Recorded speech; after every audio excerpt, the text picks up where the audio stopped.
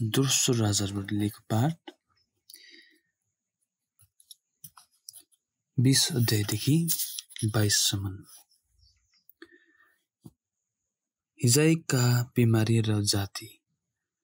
त्यसर्थ हिजाकिया प्राणघातक रूपले बिमार परे। आमोजको पुत्र प्रवक्ता यसाले उनी कहाँ आएर भने प्रभु यसो भन्नुहुन्छ। तिमीले आफ्नो घरबारको लागि अन्तिम निर्णय तयार पार कारण तिमी मर्ने वाला छौ।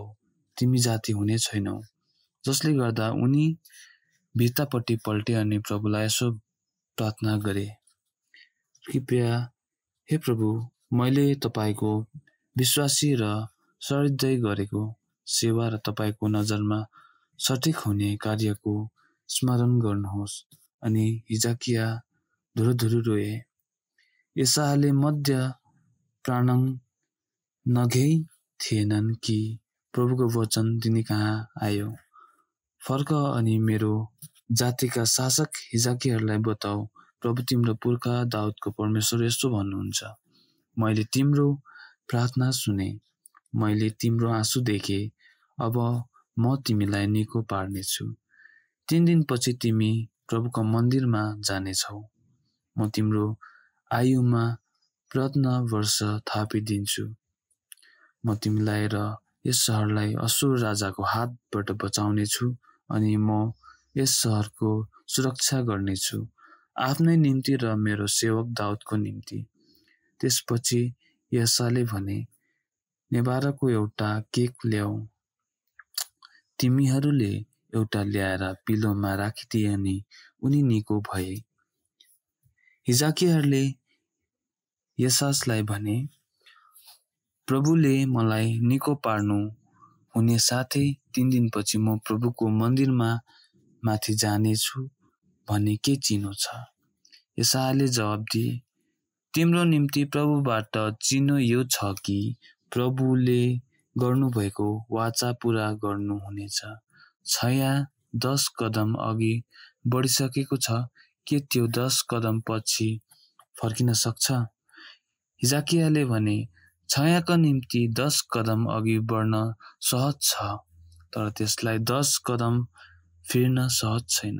त्यसर्थ प्रवक्ता व्यवसायले प्रभुलाई पुकारे अनि उहाँले छायालाई दस कदम पछि फर्काउनु भयो जो आजको धुप घडीमा अघि बढिसकेका थियो। त्यसै बेला बलान्तको पुत्र बाबेलका राजा मरुदक बल अदानले हिजाकियाहरूका पुत्रहरू र उपहार पठाए किनभने तिनले सुनेका थिए कि हिजाकिया बिमार परेका छन्। हिजाकिया तिनीहरूसित प्रश्न भए अनि उनले दूतहरूलाई आफ्नो सारा कोष देखाए। चाँदी सुन मसलाहरू बहुमूल्य तेल आफ्नो अस्त्र घर अनि आफ्नो भण्डाराहरू भएका सबै चिजहरू। जाकियाले तिनीहरूलाई नदेखाएको चिज आफ्नो महल र सारा साम्राज्य नै थिएन। तब प्रवक्ता यसायले ती राजा हिजाकिया कहाँ आएर सोधे यी मानिसहरू के भने? तिमीहरू कहाँ तिनीहरू कहाँबाट आएका हुन्? हिजाकीले जवाब दिए तिनीहरू एक टाढो देश बाबेलबाट आएका हुन्। अनि तिनले भने तिनीहरूले तिम्रा महलका के देखे? हिजाकेले भने तिनीहरूले मेरो महलका सबै कुरा देखे। मैले तिनीहरूलाई नदेखाएको कुनै कुरा पनि भण्डारहरूमा छैन। तब यसाले हिजाकीहरूलाई भने प्रभुको वचन सुन। अब आउने दिनहरूमा तिम्रा महलका भएका सबै चिजहरू अनि तिम्रो पुर्खाहरूले आजसम्मलाई साँचेको सबै चिजहरू बाबेल लगिनेछन्।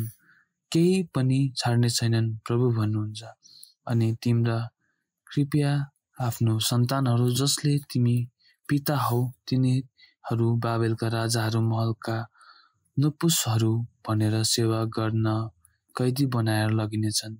हिजाकियाले बेजायलाई भने तपाईँले घोषित गर्नुभएको प्रभुको वचन न्यायसङ्गत छ कारण उहाँले सोचे कमसे कम मेरो जीवन कालभरि चाहिँ शान्ति र सुरक्षा रहनेछ। हिजाकियाले शासनको अन्त हिजाकियाको बाँकी इतिहास विजयहरू अनि शासकहरू पानी ल्याउनलाई उनले कसरी जलशय र नहरको निर्माण गरे के ती सब यहुदीहरूको राजाको वार्षिक वृत्तान्त पुरस्कारमा उल्लेखै छैनन् र त्यसैपछि हिजाकीहरूले आफ्नो पुर्खाहरूसित विश्राम लिए अनि उनीपछि पुत्र मनसोह राजा भए। यहुदेमा मनसोह राजा भनिँदा मान्छे बाह्र वर्ष पुगेका थिए अनि तिनले पाँचपन्न वर्षसम्म यरुजलेममा शासन गरे। तिनका माताको नाम हेजाफी बा थियो। प्रभुले इजरायलीहरूको सामुख खेदाउनु भएका राष्ट्रियहरू केही घृणित पथहरू अनुकरण गरेर तिनले प्रभुको नजरमा दुष्ट्याइ गरे। तिनले आफ्नो पिताहरू इजकियलको भयभक्त देउरालीहरूको पुनर्निर्माण गरे। तिनले अबलका वेदहरू खडा गरे तिनले आश्रोह वेदीको खम्बा खडा गरे जसरी इजरायलीहरूको राजा अबल गर्थे। तिनले सारा नव मण्डलको पूजा गरे सेवा गरे। तिनले प्रभुको मन्दिरमा वेदीहरू बनाए जसबारे प्रभु आफैले भन्नु भएका यरुसलेममा मेरो नामको स्थापना गर्नेछु। तिनले प्रभुको मन्दिरका दुई प्राङ्गणहरूमा सारा नवमण्डलका निम्ति वेदीहरू बनाए। तिनले आफ्नो पुत्रलाई अग्नि परीक्षामा हाले तिनले जोखाना हेर्ने र जादु टुना गर्ने गर्थे अनि भूत प्रसाद सल्लाह गर्नेहरूसित सम्बन्ध राखे।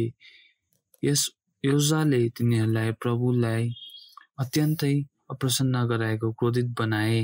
तिनले आफ्नो बनाएको अश्राह देवीको मूर्ति त्यो मन्दिरमा स्थापित गरे जसबारे मूलदेखि दाउद र उनको पुत्र सुलेमानलाई भन्नुभएको थियो यसरी मन्दिरमा र यरुसलेममा मेरो पनि सदालाई स्थापित गर्नेछु। जसले मैले इजरायलको सारा कुलहरूबाट छानेको छु अनि म इजरायलीलाई फेरि तिनका पुर्खाहरूलाई दिएको भूमिबाट फिरन्त बनाउने छुइनँ। यदि तिनीहरूले मैले आज्ञा गरे जति सबै साधनपूर्वक पालन गरे। मेरो सेवा मैजाले आदेश दिएको सारा व्यवस्था पालन गरे। तर तिनीहरूले टेरेनन् अनि मानिसहरूले तिनीहरूलाई प्रभुले इजरायल सम्पन्न नाच्नु भएको राष्ट्रहरूले गरेका भन्दा अधिक गर्नलाई उक्सा तब प्रभुले आफ्नो सेवकहरू प्रवक्ताहरूद्वारा भन्नुभयो यहुदाको राजा मनस्याहाले आफू अघिका भन्दा पनि अगम घृणित कार्यहरू गरे अनि आफ्ना मूर्तिहरूद्वारा यहुदालाई पापमा हाले। त्यसकारण प्रभु इजरायलको परमेश्वरले यसो भन्नुहुन्छ म इजरायल र युदीमा ठुलो विपात ल्याउने वाला छु जसमा कि यसलाई सुन्नेहरू दुवै कानमा यो गुन्जिरहनेछ। म समरियामा चलिरहेको न्या नाप्ने टाङ्गो अनि आबाको घरमा चलाएको साहुल यरुसलेममाथि चलाउनेछु अनि पुछेर घोप्ट्याएको एउटा सफा थाल चाहिँ म यरुसलेमलाई पुछारेर विनाश गर्नेछु म मेरो उत्तराधिकारीहरूको सल्लाहलाई त्यागेर तिनका शत्रुहरू हातमा सुम्पिनेछु जसमा कि तिनीहरू आफ्ना सारा शत्रुहरूको निम्ति शिकार अनि लुट बनान् कारण तिनीहरूले मेरो नजरमा दुष्ट्याइ गरे। आफ्ना पुर्खाहरूले मिश्र छोडेको दिनदेखि आजसम्म तिनीहरूले मलाई क्रोधित बनाउँदै आएका छन्। यहुदालाई पापमा हालेर प्रभुको नजरमा दुष्ट्याइ गर्न लगाएको बाहेक पनि मनुष्यले निर्दोष रगत यति विघ्न बगाए कि तिनले यरुसलेमको कुना एक कुनादेखि अर्को कुनासम्म भरिदिए। मनस्याको बाँकी इतिहास कार्यहरू र पापपूर्ण कार्यहरू के यहुदीका राजाहरू वार्षिक वृन्तान्त पुस्तकमा उल्लेख छैनन् र? त्यसपछि मान्छेले आफ्नो पुर्खाहरूसित विश्राम लिए अनि तिनलाई तिनकै महलको बगैँचा उब्जा बगैँचामा दफनाइदिए अनि तिनपछि तिनका पुत्र आमोन राजा भयो।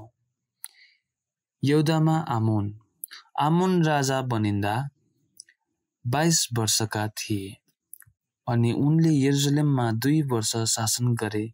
उनकी माताको नाम मुस्लेमेत थियो जो योटाबाको हाजुरीका पुत्री थिए। उनले प्रभुको नजरमा दुष्ट्याई गरे जसरी उनको पिता मन्सोले गर्थे। उनले आफ्ना पिताका सारा पथहरू पछ्याए। उनले आफ्ना पितालाई पुजे गरेका मृतहरूको सेवा गरेर पूजा गरे अनि तिनीहरू सामु झुके। उनले आफ्ना पुर्खाहरूको परमेश्वर प्रभुलाई त्यागे अनि आफ्नो पद पछ्याएनन्। आमनका वार्दहरूले उनी विरुद्ध षड्यन्त्र रचे। अनि उनीहरूले राजालाई उनकै महलमा मारिदिए। तर त्यस भूमिका मानिसहरूले राजा आमोन विरुद्ध षड्यन्त्र रच्ने मानिसहरूको हत्या गरिदिए अनि भूमिका मानिसहरूले उनको पुत्र योसियालाई उनको उत्तराधिकारी बनाए सिंहासनमा राखे। आमोनको बाँकी इतिहास र कार्यहरू के यहुदाका राजाहरू वार्षिक वृन्त पुस्तकमा उल्लेखित छैन र उनीहरूले उनलाई उज्जा बगैँचामा आफ्नै चिहानमा दफनाइदिए अनि उनको पुत्र योसिया उनीपछि राजा भए। यहुदाको योसिया योसिहाईका शासनको परिचय। योसिया राजा भनिन्दा आठ वर्षका थिए अनि तिनले यरुसलेममा यथाशक्ति वर्षसम्म शासन गरे। तिनको माताको नाम यदिदा थियो जो बेजथको अदायकी पुत्री थिइन्। तिनले प्रभुको नजरमा सठिक हुने कार्य गरे। तिनले आफ्नो पुर्खा दाउदको सारा पथहरू पछ्याए। त्यसबाट देब्रे दाहिने भएनन्। विधान पुस्तक पाइयो।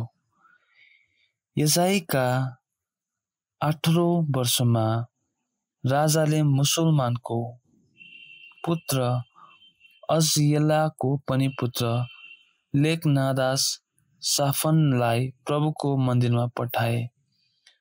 महापुरोहित लिया कहाँ आए गएर प्रभुको मन्दिरमा मानिसहरूले चढाएका र दुरुपायतीले जम्मा गरेका चाँदीको हिसाब गर्न लगाऊ। उनीहरूले त्यो प्रभुको मन्दिर कार्यको हरेक गर्ने पैदारहरूलाई सुम्पिदिए जसले प्रभुको मन्दिरमा कार्यरत मजदुरहरूलाई दिनेछन् जसले मन्दिरहरूको मर्मत गर्दैछन्। सिककर्मीहरू निर्माणकर्ताहरू र डकर्मीहरूलाई साथै मन्दिरमा मर्मत हेतु काठ किन्नलाई अनि तयार पारेका ढुङ्गा किन्नलाई याद राख उनीहरूले दिएका चाँदीको हिसाब किताब गर्नु पर्दैन कारण उनीहरूले विश्वासी भएर काम गरिरहेका छन्। महापुरोहित हेलिकियाले लोकनादास साफनलाई भने मैले प्रभुको मन्दिरमा विधान पुस्तक पाएका छु। हलिकियाले साफनलाई पुस्तक दिए अनि उनले सो पढे लेखनाथसम्म साफनले राजा कहाँ गएर तिनलाई सूचना पनि दिए।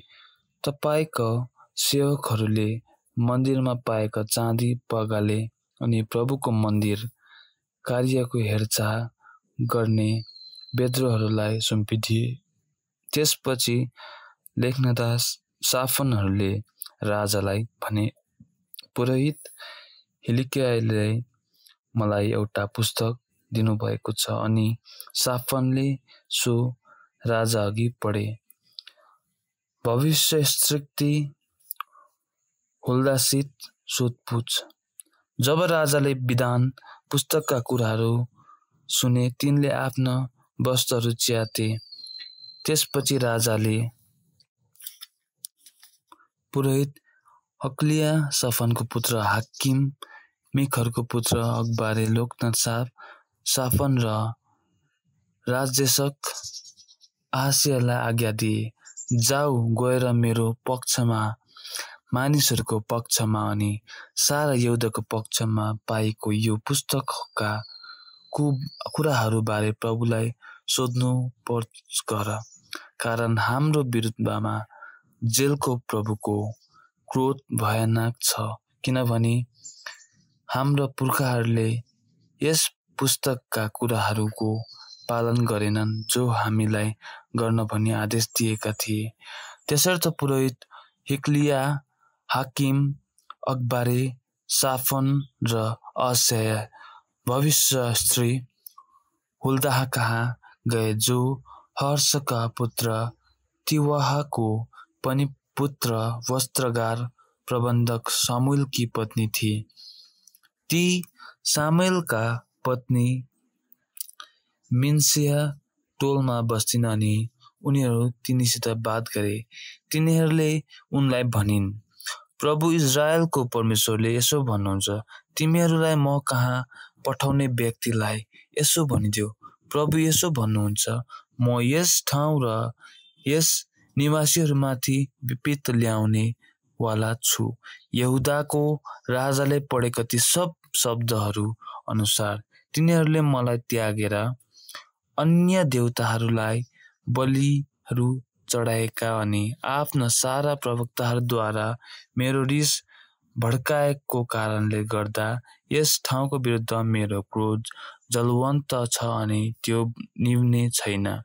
तर यहुदाको राजलाई जसले तिमीहरूलाई प्रभुसित सोध्नुपर्छ गर्न पठाए तिमीहरूले यसो भनिदेऊ इजरायलीको परमेश्वर प्रभुले यसो भन्नुभयो तिमी तपाईँले सुन्नुभएका विषयबारे जब तपाईँले सुन्नुभयो कि मैले यस ठाउँलाई र यसका निवासीहरूलाई उजाड र श्रापको पात्र बनाउने वाचा गरे। तपाईँ डराएर मेरो सामु नम्र बनेको कारणले गर्दा अनि आफ्नो वस्त्रहरू च्यातेर मेरो सामु रोएको कारणले गर्दा मैले पनि सुने। प्रभुको वचन त्यस कारण म तिमीहरूलाई आफ्ना पुर्खाहरूसित मिलाउनेछु अनि तिमी आफ्नो ज्यानमा शान्तिसँग मिल्नेछौ। मैले यस ठाउँमा ल्याएको विपत्ति तिमीले हेर्नु पर्नेछ त्यसर्थ तिमीहरूले फर्केर राजालाई सूचित गरिदिए।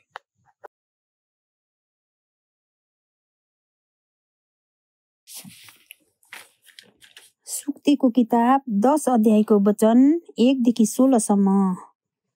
सुलेमानका सुक्तिहरू। ज्ञानी छोरो बाबुको हर्ष उमङ्ग बस्दछ मूर्ख छोरो आमाको आँसु। कुकर्मबाट अर्जित वैभवले केही लाभ हुँदैन तर सत्कर्मले चाहिँ मृत्युको मुखबाट छुटाउँछ। सत्कर्मीलाई प्रभुले भोको राख्नुहुन्न तर दुष्टको तृष्णलाई व्यर्थ गराइदिनुहुन्छ। अल्छे पाखुरीले गरिबी तुल्याउँछ जाँगरिलोको पाखुरीले धन थुपार्छ। बर्खामा ढुकुटी भरिराख्ने छोरो अक्रसोची हो तर फसलको समयमा सुतिरहने छोरो घरको दुर्नाम। सत्कर्मीको शिरमा आशीर्वाद मूर्खको ढाडमा ला लाठो लाठो। सत्कर्मीहरूको स्मरण पनि आशीर्वाद बन्दछ तर दुष्टहरूको नाम चाहिँ गनाएर जान्छ।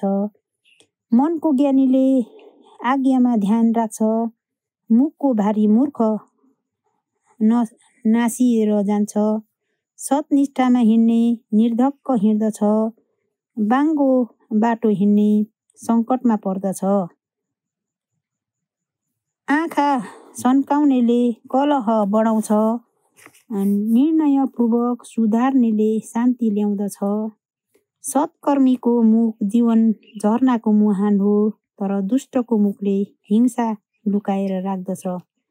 घृणाले त तानातान मात्रै बढाउँछ प्रेमले चाहिँ जम्मै दोष ढाकिदिन्छ। विवेकशीलको ओठमा ज्ञानले बास गरेको पाइन्छ दुष्टको मुखले हिंसा लुकाएर राख्दछ। ज्ञानीहरूले विद्यता थुपार्दछ तर मूर्खले बोल्दा विध्वंस नजिक ल्याउँदछ। सम्पत्तिवान व्यक्तिले वैभव सम्पत्तिवान व्यक्तिको वैभव उसको निम्ति किल्ला बन्दछ। गरिबको गरिबी उसको विनाशको कारण सत्कर्मीको कमाइले जगजगी जीवन ल्याउँछ तर दुष्टको उपार्जनले पाप। यो प्रभुको वचन।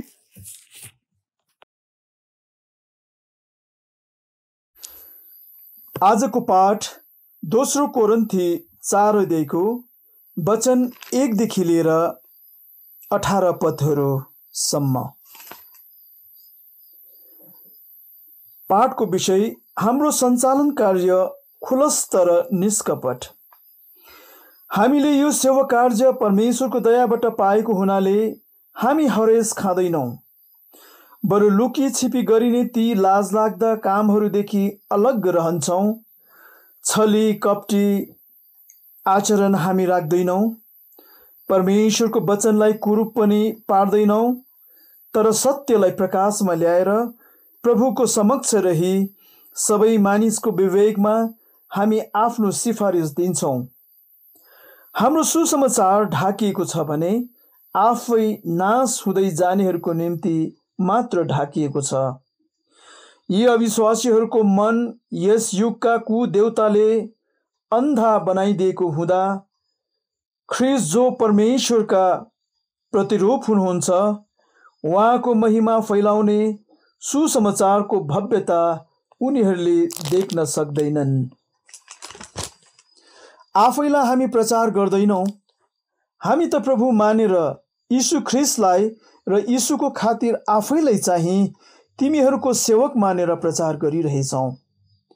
ख्रिस यीशुको मुखमण्डलमा भएको यस महिमाको ज्ञानको उज्जवलता फैलाउनलाई अन्धकारबाट उज्यालो ज्योतिमर्य होस् भन्ने परमेश्वर स्वयं हाम्रो हृदयमा ज्योतिर्मय हुनुभएको छ।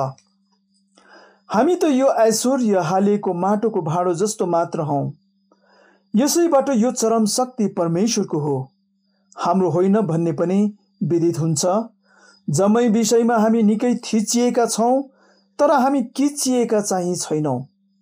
साह्रै अन्यलमा पनि पर्छौँ तर उपायहीन हुँदैनौँ। हामीमाथि भिडी नै रहन्छन् तर हामी त्यक्त हुँदैनौँ पछारिन्छौँ तर नाश हुँदैनौँ। सदा सर्वत्र यीशुको मृत्यु हामी आफूमा बोकेर हिँड्छौँ। यीशुको जीवन हाम्रो शरीरमा प्रकाश प्रकाशमान होस् भनेर हामी यसो गर्छौँ। यसुको जीवन हाम्रो मरणशील शरीरमा प्रकाशमान होस् भनेर हामी जीवित रहँदासम्म यीशुकै खातिर मृत्युका हातमा निरन्तर सुम्पिन्छौँ। यसरी नै मृत्युले हामीमा आफ्नो काम गरिरहेको छ र तिमीहरूमा जीवनले शास्त्रमा लेखिएको छ मैले विश्वास गरेँ त्यसैले भनिदिए। यसरी लेखिएको त्यही विश्वासद्वारा अनुप्रेरित भएर हामी पनि विश्वास गर्छौँ। र त हामी भनिदिन्छौँ हामी जान्दछौँ यीशुको उत्थान गर्ने। उहाँले यीशुसँगै हाम्रो पनि उत्थान गर्नुहुनेछ र उहाँनिरै राख्नुहुनेछ तिमीहरूसँगै। यी सबै कुरा तिमीहरूकै खातिर हो। अनुग्रह अधिकाधिक मानिसहरूमा बढ्दै जाँदा धन्यवाद अर्पण गर्नेहरूको वृद्धि भएकोले परमेश्वरको महिमा पनि बढ्दै जानेछ। यसै कारण हामी हरेस खाँदैनौँ बरु हाम्रो बाहिरी म थोत्रिँदै गए पनि हाम्रो भित्री म दिनदिनै नवीन हुँदै जाँदैछ। अहिलेको यो कष्ट क्षणिक र हल्का भए तापनि अतुलनीय तरिकाले हाम्रो निम्ति यसले अनन्त र गहिकिलो गहकिलो महिमा ल्याउँदछ। हामी दृश्यमा होइन अदृश्य वस्तुमा आँखा गाड्दछौँ। दृश्य वस्तु अल्पकालीन र अदृश्य वस्तु अनन्तकालीन हुन्छन्। प्रभुको वचन